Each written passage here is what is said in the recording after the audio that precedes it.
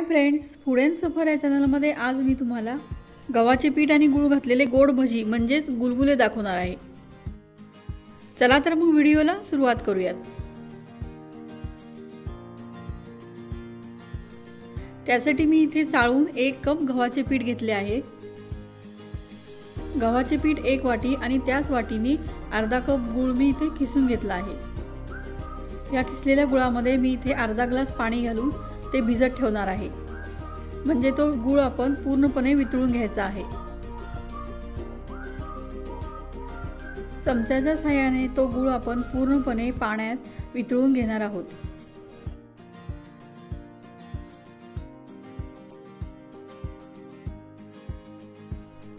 गुलगुल्याचे पीठ तयार करण्यासाठी मी इथे गव्हाच्या पिठामध्ये चवीनुसार मीठ टाकत आहे. गुलगुल्याला टेस्ट छान येण्यासाठी दोन चमचे वेलची पावडर टाकत आहे.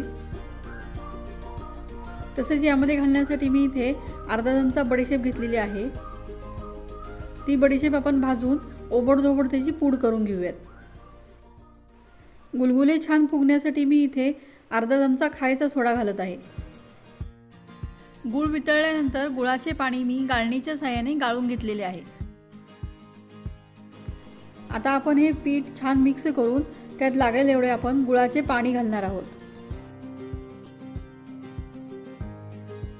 आपण घेतलेल्या गव्हाच्या पिठामध्ये जेवढे पाणी लागेल तेवढे घालून आपण त्याचे पातळसर बॅटर तयार करणार आहोत.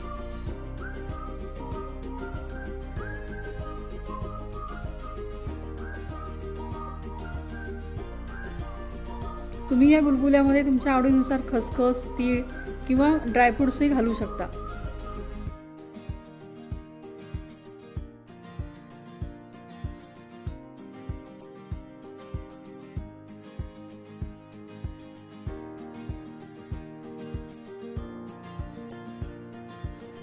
मला इथे गव्हाच्या पिठाचे बॅटर तयार करण्यासाठी जे आपण गुळाचे पाणी केले होते ते सर्व इथे मी घातलेले आहे.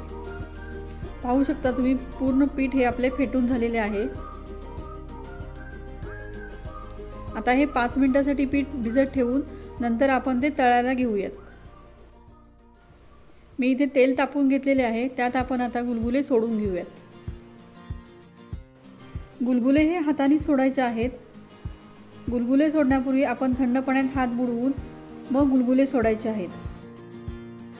म्हणजे ते चपटे न येता गोल गोल येतात.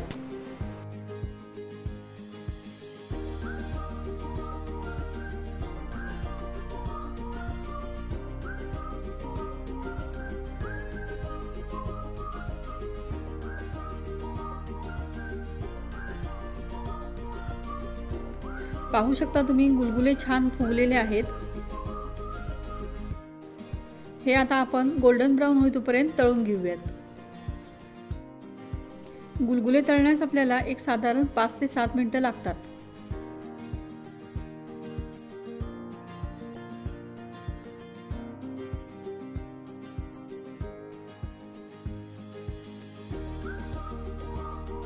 अशा प्रकारे मी इथे सगळे गुलगुले तेलामध्ये तळून घेत आहे.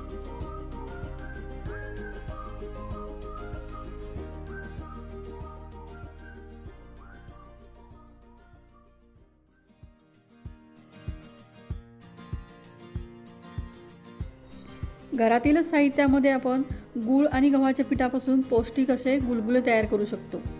कधीही होणारी ही अशी झटपट रेसिपी आहे. गुलगुले हे आपण चार ते पाच दिवसांसाठी स्टोअर करून ठेवू शकतो.